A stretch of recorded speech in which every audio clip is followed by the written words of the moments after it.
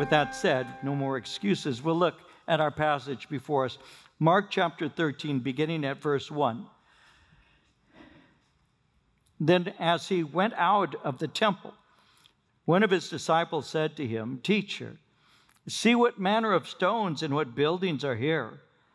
And Jesus answered and said to him, Do you see these great buildings? Not one stone shall be left upon another that shall not be thrown down.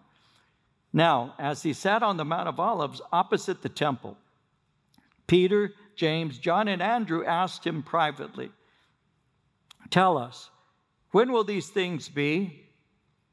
And what will be the sign when all these things will be fulfilled?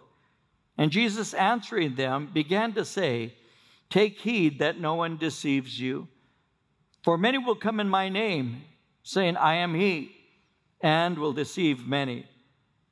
But when you hear of wars and rumors of wars, do not be troubled, for such things must happen, but the end is not yet.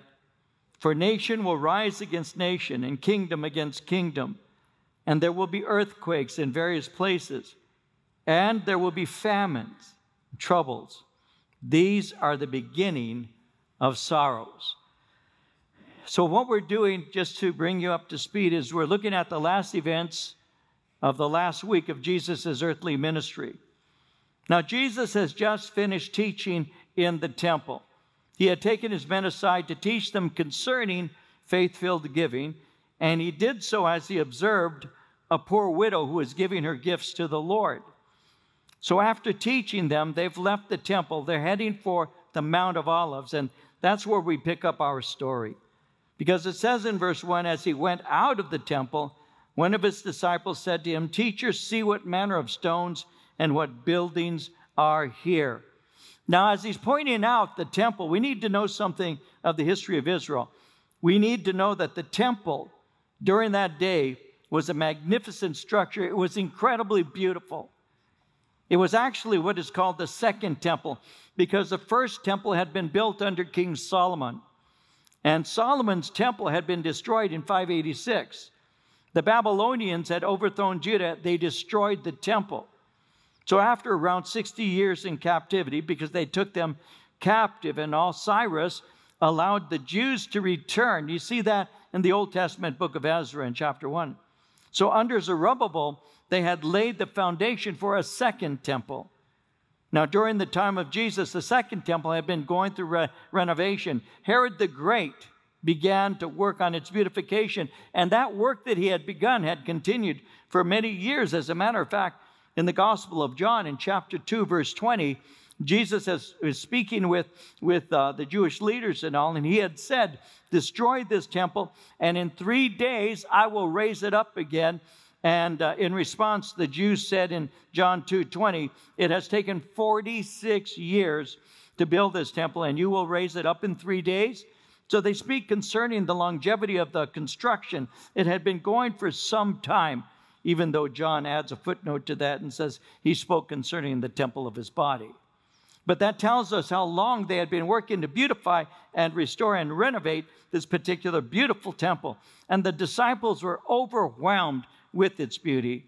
Luke 21, verse 5 says some of his disciples were remarking about how the temple was adorned with beautiful stones and with gifts that had been dedicated to God.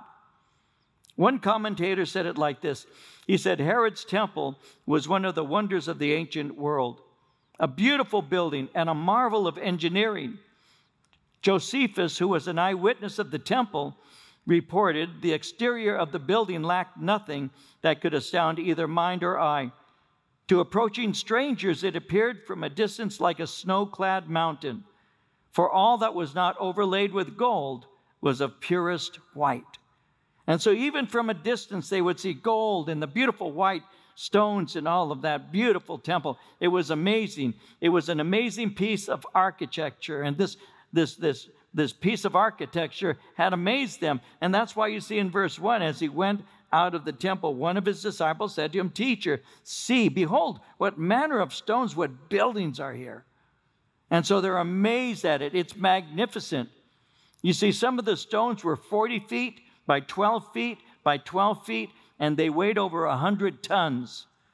They were quarried as a single piece and transported many miles to the building site to keep the sound of man's labor out of that area. It was adorned with beautiful stones and, and gifts. The gifts that are spoken of are, are those donations that were dedicated to the Lord.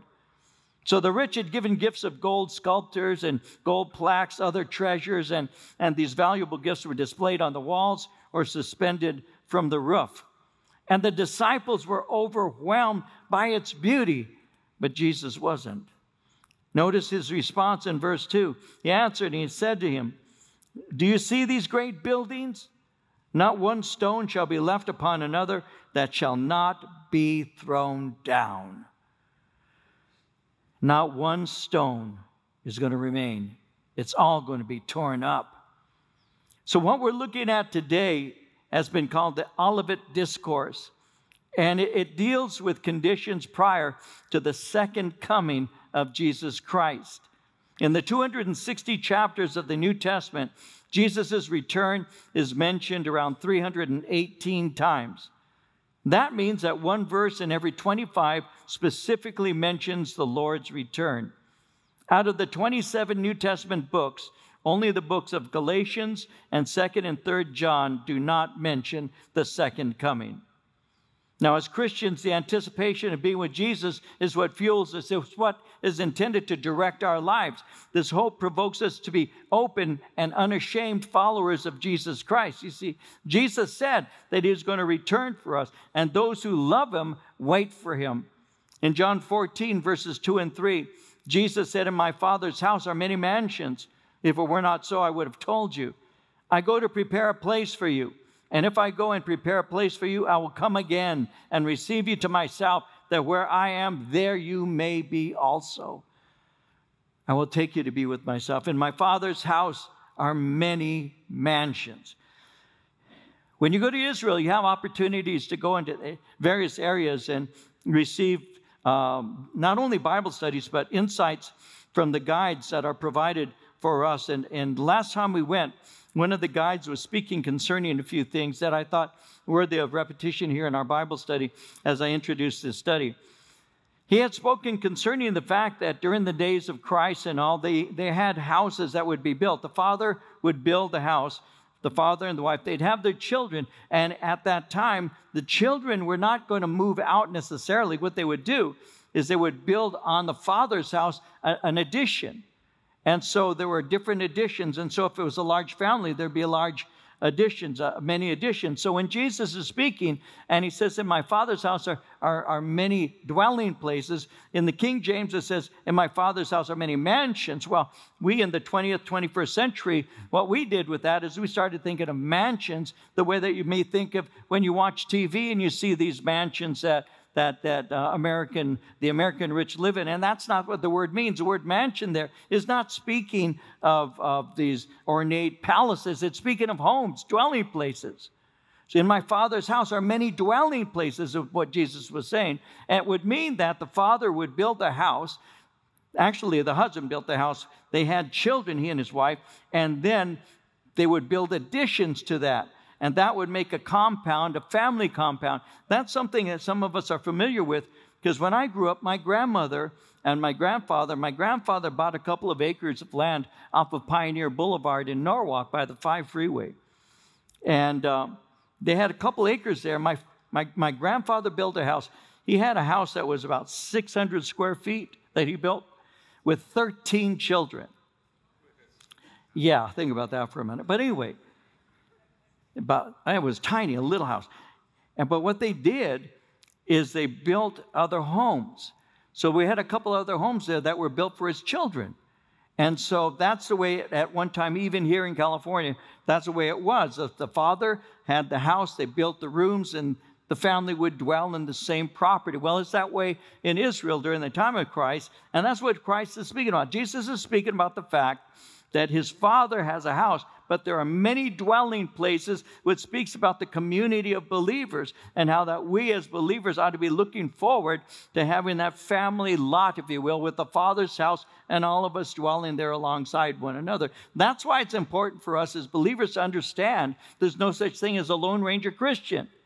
That when we were born again, we were brought by the Holy Spirit into the body of Christ. We are now one, by one Spirit, have been brought into the one body. And it doesn't really matter if, if that, that portion of the body is called Calvary Chapel or if it's called the First Baptist Church or whatever. We're family. We belong together. And so Jesus is preparing that place for us. Now, the anticipation of being with Him to being there at the Father's house with the community of believers enjoying the fellowship of the Lord is what motivates us and, and causes us to be anticipating uh, being with Him, to long to be with Him.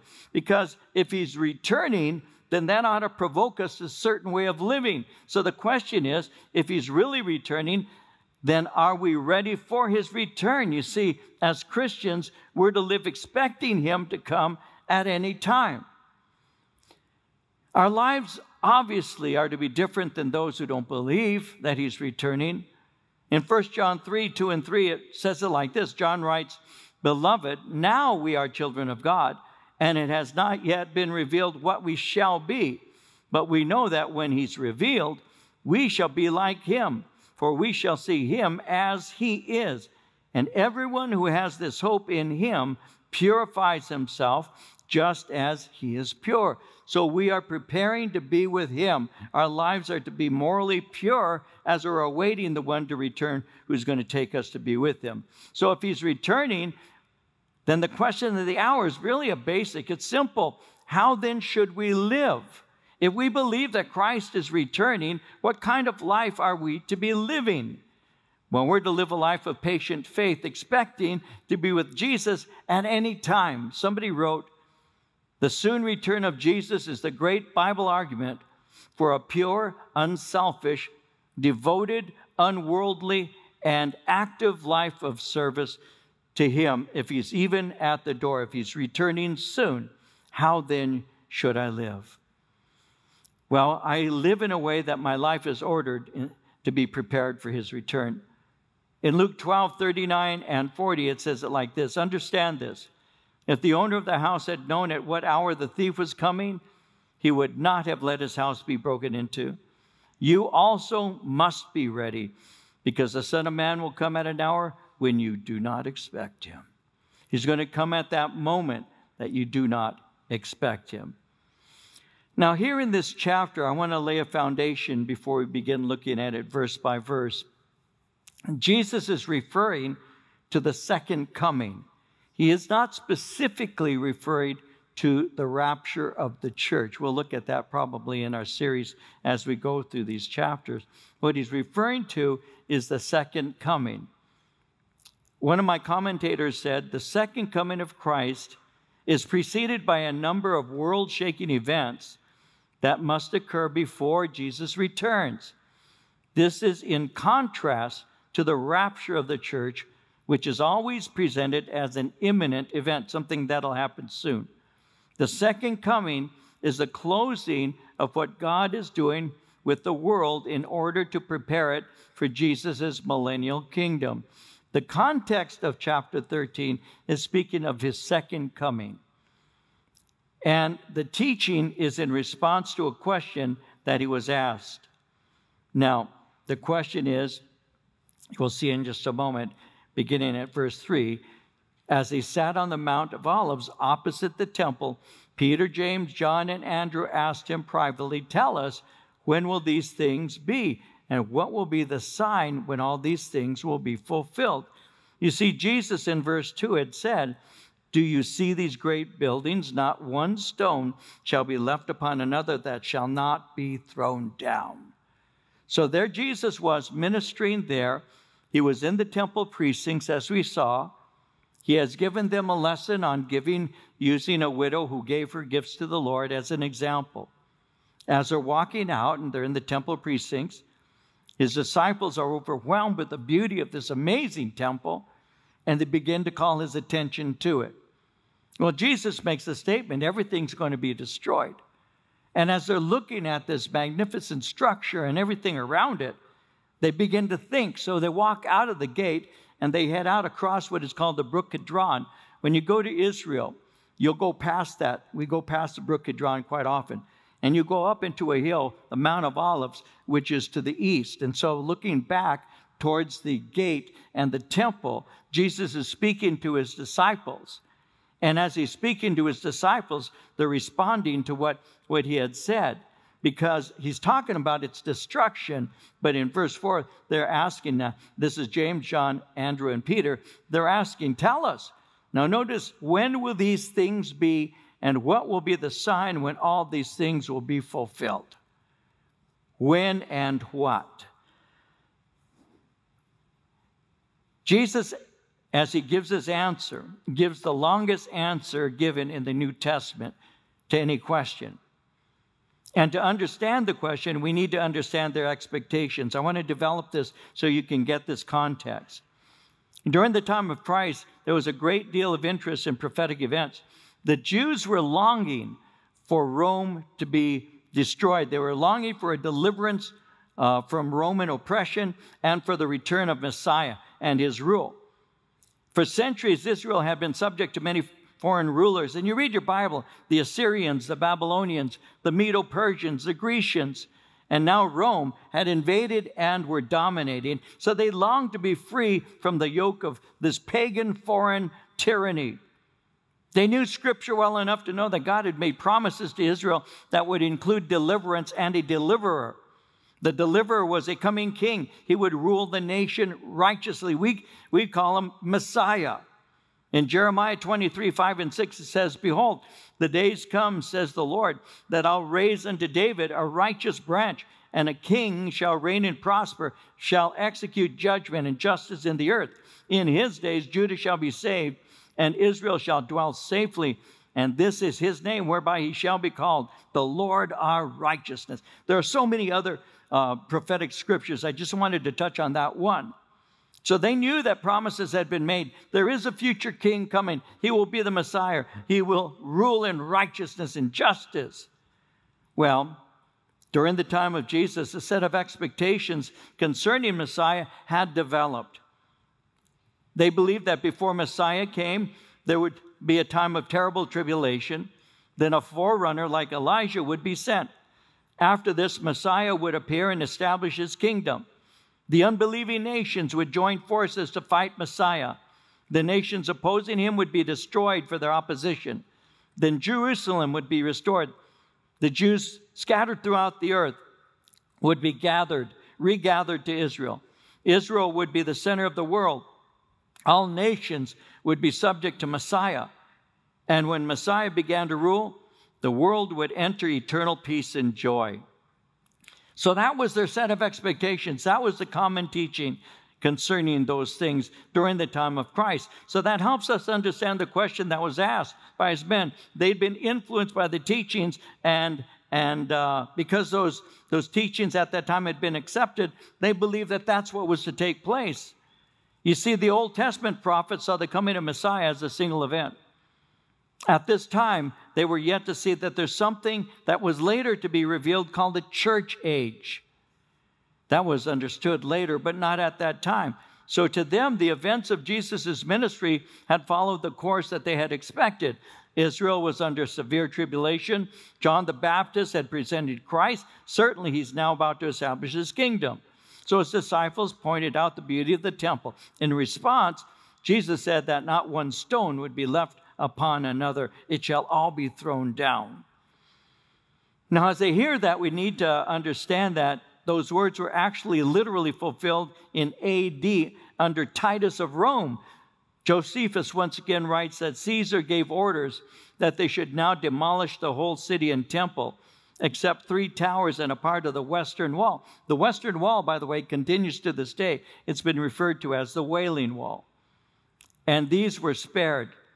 But all the rest of the wall was laid so completely even with the ground by those who dug it up to the foundation that there was left nothing to make those that came there believe that it had ever been inhabited. So in AD 70, it was demolished. And so when Jesus is saying that, it's, it's, it's shocking to them because they're looking at the beautiful buildings and the, the gold and everything, and then they're just in awe of how how beautiful that building is. And Jesus says, no, it's going to be totally demolished.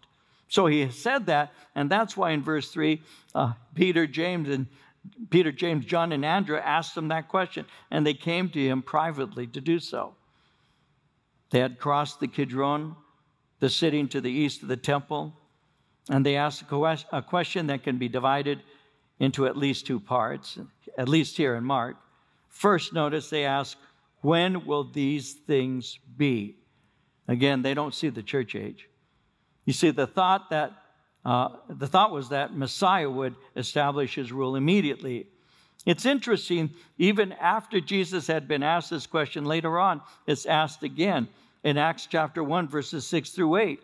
It says, They gathered around him and asked him, Lord, are you at this time going to restore the kingdom to Israel? He said to them, It is not for you to know the times or dates the Father has set by his own authority. But you will receive power when the Holy Spirit comes on you, and you will be my witnesses in Jerusalem and in all Judea and Samaria and to the uttermost parts of the earth. You don't understand the times and the seasons, those are in the Father's hands.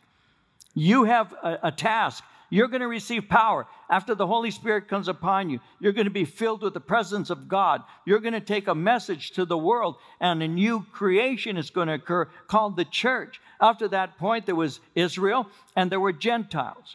Humanity in Scripture is divided into two in the Old Testament. There's a, there's a nation of Israel, and then there are the Gentile nations. All the rest of the nations on the face of the earth are called Gentiles, the Goyim, the people of the nations.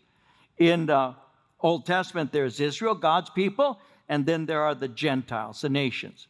But in the New Testament, humanity is divided into three there's Israel, there's Gentiles, there's the church made up of both Jew and Gentile. And you see that in the book of Ephesians very clearly. They are not aware of the, baptism that's about to come. Jesus will give them more teaching concerning that, but the power of the Holy Spirit falling upon them. They're not aware of that at that time. They're not aware that God is going to take the two, the Jew and Gentile, and make the new man, the one new man who's fashioned after the image of God. They don't know that. They don't know that the Gentiles are going to be brought into the promises that God gave to the nation of Israel. They don't know that yet. So, what they're thinking is, are you about to do this? What's going to happen? We've seen some of the things that we were prepared for, we've seen them take place. We've been under that tribulation. We've seen John the Baptist and all of that. So, this must be the time when you're going to take over as Messiah. Is that going to happen now? That's their question. When will these things be? But also, they ask, what will be the sign? I want you to notice this. I'm going to develop this with you. What will be the sign when all these things will be fulfilled? What will be the sign? Notice how Jesus begins to answer them in verse 5. What does he say? Take heed that, you, that no one deceives you, for many will come in my name saying, I am he, and will deceive many. I'm going to spend some time with you looking at this. What is the sign? You're going to notice in a moment, as we all know, he's going to speak of other things. But the question is answered in the singular, not the plural. He, they didn't say, What will be the signs? They said, What will be the sign? What is the primary sign that you're about to return, the second coming? What should we be aware of that indicates to us that everything's wrapping up? And what does he say? Notice what he says in verse 5 Take heed that no one deceives you. He says it again in verse 21 through 23. Notice, if anyone says to you, Look, here is the Christ, or Look, he's there, do not believe it. For false Christs and false prophets will rise and show signs and wonders to deceive, if possible, even the elect. Take heed. See, I have told you all things beforehand. He repeats this. In Matthew, he does it uh, three to four times. He repeats this. Here in Mark, we see it repeated also. But what is the sign? Spiritual deception. Take heed. Now, when he says take heed, this is something you have responsibility for, that I have responsibility for. Christians are to personally take care not to be deceived. I personally am to know Scripture well enough to guard myself against spiritual deception. You see, as time progresses, attacks on Christian faith will increase. And this is something we're to be aware of, and this is something that we must guard ourselves against spiritual deception. Deception is the method Satan uses to prepare the way for Antichrist. There will be attacks, and there have been attacks on biblical inerrancy. Can I trust the Bible? The divine nature of Jesus. Oh, he's the second, he's the first creation of God. The resurrection of Jesus. Oh, he wasn't physically resurrected, he was only spiritually resurrected. And the return from Jesus. No, what he's talking about is that he's going to have his presence among people in church. I've heard these things over the years after I got saved. There have been attacks on the literal fulfillment and description of all these things from the beginning.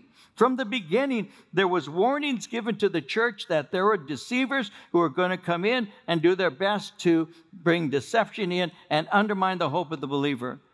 In the New Testament, deception is spoken of repeatedly and is a warning to believers. Let me give you a few examples.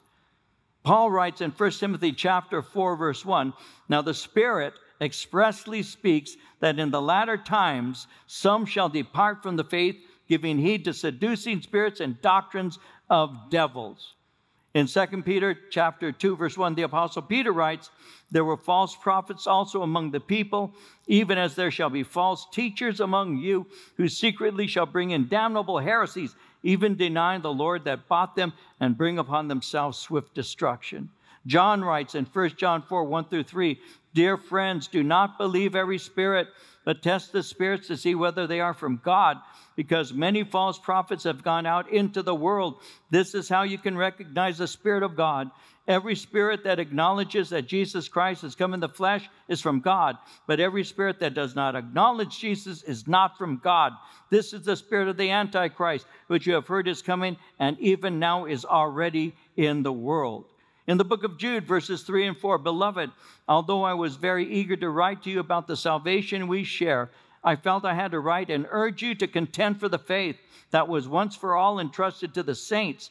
For certain men whose condemnation was written about long ago have secretly slipped in among you. They are godless men who changed the grace of our God into a license for immorality and deny Jesus Christ, our only sovereign and Lord. The seeds of deception have been in the church since almost from the beginning. Paul is there in Miletus and he's having some final instructions that he's given to the elders of the church of Ephesus. And as he's meeting with them for the last time face to face, because he's moving off into a time that he'll not see them again, he's ultimately going to die, he says, Take heed. He says, People are going to rise up from among you, and even from yourself. Men will rise up and draw disciples after themselves. He warned and he warned and he warned. What is the number one sign? You see, a lot of times when we look at the last days, and we'll do this in just a moment, as we look at the other things that he speaks about, the wars and, and the nations rising against one another, and the famines, plagues, and things of that, of course, those are all things that we look at. But what is the sign? They said, What is the sign? They didn't say, What are the signs? They said, What is the sign? The number one thing deception, false teachers creeping in, undermining who Jesus Christ is, denying the scriptures, denying that he's God in the flesh, denying that he's returning, denying the need for salvation through him and Jesus alone. All of that has been going from almost the time the church began to preach the gospel. The seeds of deception sown in the time of the apostles are still bearing fruit. Now, that will be especially true as we've studied through the book of Revelation. That will be especially true during the tribulation. That's why it's so important for us in our day to read the Word of God. I want you to notice this again, please. Notice how Jesus in verse 5 puts the personal responsibility on the hearer. Take heed that no one deceives you. That puts that responsibility on me. I can't blame my pastor Chuck. I can't blame another pastor. They may influence me in the wrong direction, but the warning is given to me on a personal level. You take heed that you are not deceived. How can I take heed that I'm not deceived? I need to be in the Word of God myself. I need to have devotions. I need to read the Scripture, pray through them. That's what I did long before I, God gave me the, the, the privilege of pastoring a church. I would go and buy books and I would open up the Bible and I would read and I'd study for myself. I wanted to know what the Word says. And when God gave me the ability to and the permission to and opened a door for me to begin teaching others, it became even more important then. This month, I celebrate my 49th anniversary of my first Bible study that I ever gave. 49 years. And so for 49 years, I've been dividing the word. For 49 years to see what does it mean? How does this work? How do you apply this? What, what should I know? Take heed that you're not deceived. Spend time in the Word. Spend time praying. Say, God, what does this mean? And if you can't discover that, you do your best. You ask others who may know, and you grow. That's how it works. But that's my responsibility. You see, he speaks concerning deception. We're living in a time of spiritual deception right now.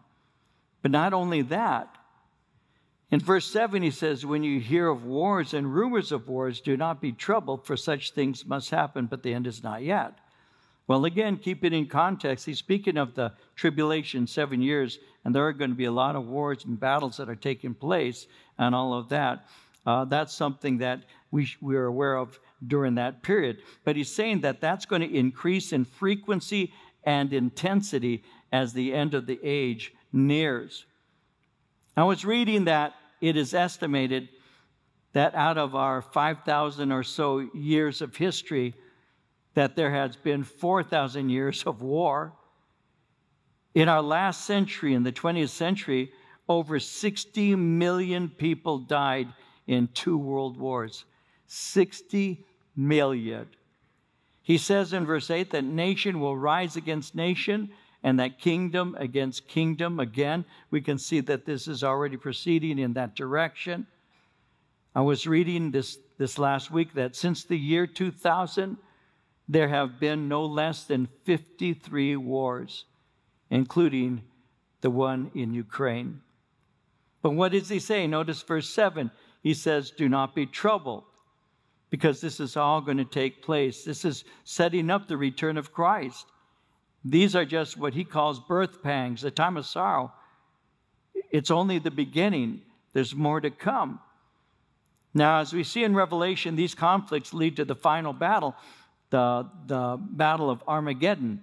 Israel's enemies will attack the nation, but Jesus returns to establish his kingdom, and that Jesus defeats his enemies and he casts the Antichrist and false prophet into the lake of fire. This is all awaiting them. is still the future, but it's going to be taking place like just preparation. Notice in verse 8, he speaks of earthquakes and, and famines and troubles.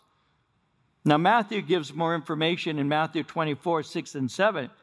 You will hear of wars, rumors of wars.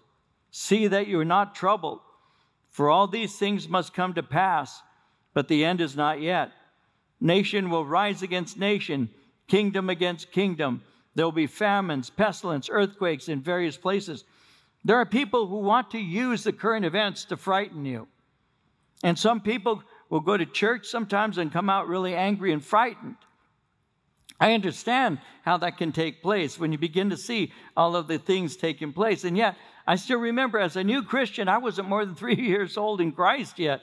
I believe it was after I got out of the service and I was at home and I was staying at my parents' house at that time. There was a knock on the door and, and a Jehovah's Witness came and knocked on the door. I opened the door. Hello. Hi, how are you? I'm a member of Jehovah's Witnesses. I said, oh, okay. And uh, can I share with you about current events? And I said, why not? No, I'm a, I'm a brand new Christian. It's not like I've been teaching a whole lot of Bibles yet. I, I was still learning, but when they were speaking to me, I'll never forget our conversation in that they said to me, they started reading about the wars, rumors of wars and pestilences, and all of these things, and, and, and, they, and they were trying to scare me with it. And I said, but wait a minute, didn't Jesus say, when you see all of these things, look up? For your redemption draws nigh. I said, Why am I supposed to be afraid of these things? This is just closing our history, and I'm going to be with the Lord. See, we're not supposed to be afraid of the return of Christ. We're supposed to anticipate the return of Christ with joy because He's returning for us. And yet, we have so many people are so upset. These are things that ought to provoke us and awaken us that He's returning soon.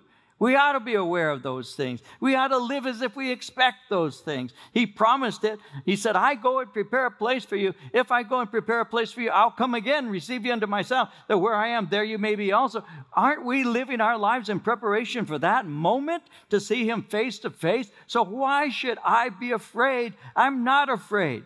I will be with my master. I will see him face to face. He has prepared a place for me. The family will have a reunion. We're going to have a great time, and I look forward to that. That's what Christians are supposed to do. Instead of running around saying, Oh, I'm so scared. No. No. I look forward to it. Now, he speaks concerning these things, the earthquakes and famines and troubles. Why not look at that for a moment? Okay, we will. Earthquakes, seismic upheavals. Again, you read Revelation, you see what takes place there massive earth, earthquake and all. Well, the U.S. Geological Survey estimates several million earthquakes occur in the world each year. Many go undetected because they hit remote areas or have very small magnitudes. I have been teaching my church church services not only here but here in particular. I have taught here during earthquakes. Earthquakes are going on. I didn't feel it because this platform is actually only three or four inches thick of concrete. Underneath it, it's a dirt foundation, so it's very solid. But I was, I still remember I was teaching a Bible study on a Sunday morning, and an earthquake hit. I didn't know an earthquake hit. I couldn't feel it. But I saw people's eyes getting like real big. And I turned and I looked in the screen like that, and the screen was moving. I thought, wow, we're having an earthquake. See, I'm, I'm, I'm born and raised in California, man. I've gone through, I go through them all the time. It's kind of, that's just us. You know, people, oh, I don't want to live in California. I'm afraid of earthquakes. Good, just don't move here, please. Just don't move here. That's okay, fine. But other places have hurricanes and tornadoes and so you kind of get used to what you have, right? And so for us, we have earthquakes, and there are many of them, but there has been nearly a 2,000% increase of major earthquakes since 1900. So there are more earthquakes coming. Yes, the ability to be able to uh, to have instruments that can let you know when has happened. That's all become more sophisticated. But earthquakes are increasing, and Jesus said that the earthquakes will continue, and that is taking place, and we see that. There are going to be famines. He speaks of famines. I was reading this, this I found interesting. The war in Ukraine has delivered a shock to global energy markets. Now the planet is facing a deeper crisis, a shortage of food. A crucial portion of the world's wheat, corn, and barley is trapped in Russia and Ukraine because of the war, while even a larger portion of the world's fertilizers is stuck in Russia and Belarus.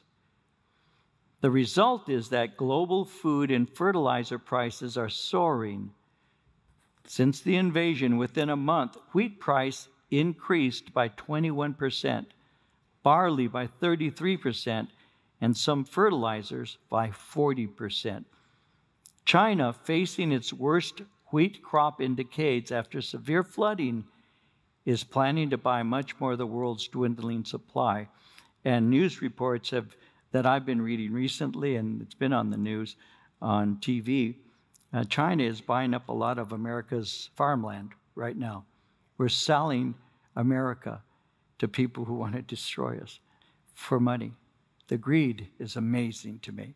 We're selling America to those who are making no bones about wanting to destroy us, and, and uh, that's taking place even as I'm reading this right now. Now, Matthew speaks of pestilence, that speaks of plagues.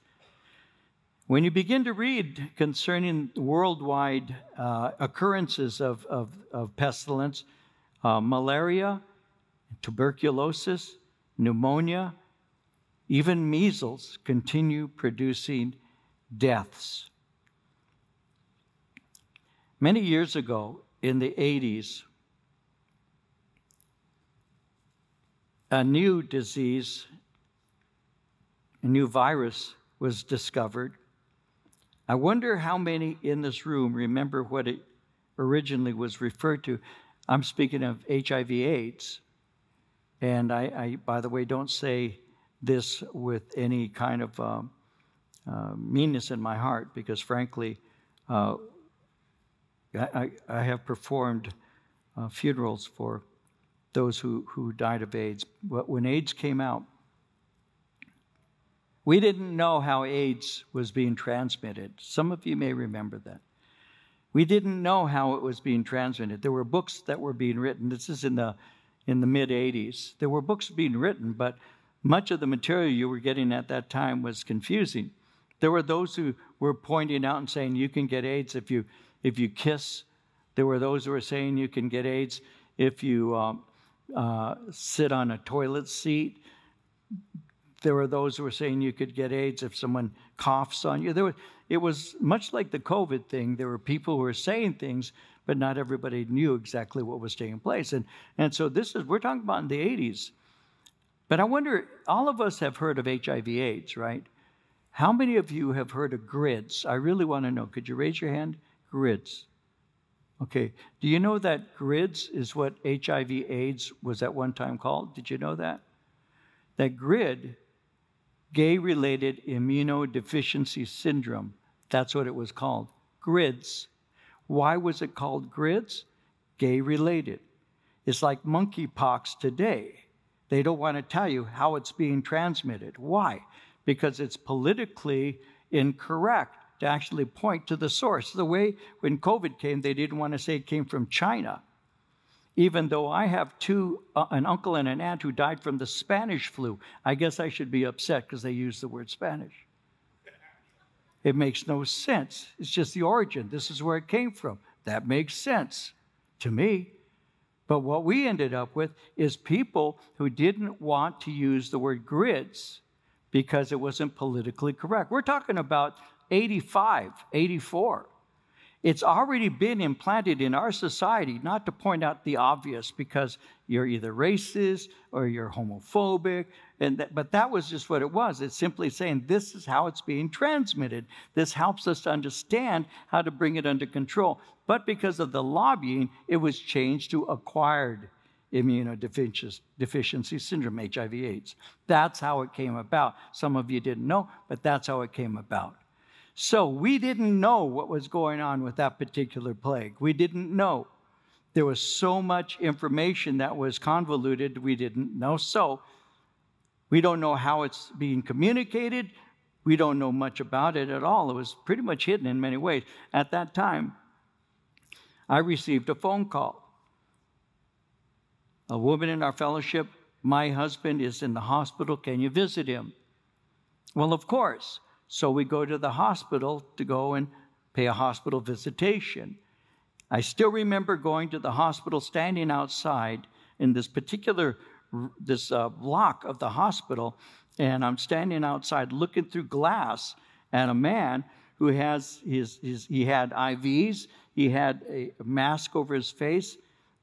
It, it, it, there was just all kinds of things going on as I'm looking at him, and I'm wondering what does he have? Then I see the nurse in attendance. She was wearing one of those space suits that they have, and uh, she's caring for him. And but I look at the wife, and the wife was a nurse, and the wife is wearing just regular civilian clothes, if you will, just dressed normally. And she's not wearing it, but this other person is wearing. And you know, it doesn't take long for my mind to finally lock in. This guy doesn't just have a cold. Something's wrong here. That's pretty bad. So, AIDS. AIDS. Now, I remember standing there looking, and I had my assistant with me at the time, and I'm looking in this room. And here comes the nurse, and she walks out and she speaks to me and she says, Can I help you? I said, Yes, I'm his pastor. I'm here to pray for him. She says, You're going to have to gown up and do. I, not, but I'm looking at the wife, and she's not gowned up. And I said, No. I said, No, I'm going to go in as I am. She says, You need to gown. I said, No, I'm going in there as I am. I didn't want to insult the wife. And so I turned to my assistant and I said to him, We don't know how this disease is being transmitted. You need to stay out, and I'm going to go in. You stay out. And he says, No. He says, I'm going to go in. So I said, Okay, then I'll stay out. no. One of us got to. So we both went in. And the man was, like I said, hooked up. And when he saw me, he motioned to his wife with his hand. I'll always remember this. And he asked her for a pad and a pen, writing tablet and a pen. And he wrote this note. And she peeled it off and handed it to me. And I'll never forget. She wrote, it, it, it said, I am eternally grateful to you. Why? Because I was there visiting him? No. Because before he died, because of the ministry of the Word of God, because of this fellowship, we gave him the gospel. He died three days later of AIDS, but he went to heaven because he gave his heart to Christ. And that's, that's one of the reasons why, when you hear me sharing with you, that's one of the reasons why I tell you, teaching the Word of God is what saves people's souls. That's why we teach God's Word. You could be happy because we had exciting worship. You could be happy because I bounce around up here and get you all agitated, which isn't hard to do. Or you can be blessed because God's word is resting in your soul, giving you eternal comfort for the day that you meet Jesus Christ. You can say, My name is in your book. And that comes from the Word of God. You see, so we're living in times that we're familiar with that are only going to escalate. The obvious plague that we're dealing with right now is COVID. As of September 1st, there have been 608,366,000 452 confirmed cases, but there have been 6,496,975 reported deaths. Pestilences are things that we are, as a people, familiar with. It's only going to rise in the last days, and the time just prior to Jesus returning. Now, notice again, Jesus makes a statement, verse 8, and we'll close with this. These are the beginnings of sorrows. These are the beginnings of birth pangs. The word sorrows refers to birth pangs. It's starting. Now, birth pangs are, are what take place, obviously. Every woman who's given birth knows this very well. Just before the baby's born. These are the things that are going to take place just before Jesus returns, is what he's saying. The disasters that we see in our day are previews of things to come. The things that we see now are foretastes of the tribulation. And these things should be increasing our faith. And what we're seeing will give us a deeper certainty of what happens in the end. And it serves to encourage us to continue sharing our faith with other people. Hebrews 2, verse 3 says it like this How shall we escape if we neglect so great salvation, which at the first began to be spoken by the Lord and was confirmed unto us by those who heard him, how shall we escape without God's word? And as God's word is presented and we hold fast to it, we are not afraid. We look up for our redemption is drawing nigh, and we share with people the gospel of Jesus Christ so that they can have peace and they can have hope and they can have love and they can, with anticipation, expect to see Jesus Christ soon. And when we see him, we will not regret a single thing that we left behind. All we'll be able to do at that time when we see him is just to praise him and thank him for all he did for us and that we can be there in this great reunion. For in his house are many mansions and our families there to greet us. We see Jesus Christ. What else would be better than that? And so Jesus concerning that to us. And as we go through this together, we will be seeing more and more as we go through the 13th chapter of the book of Mark. And Father, we ask that you would.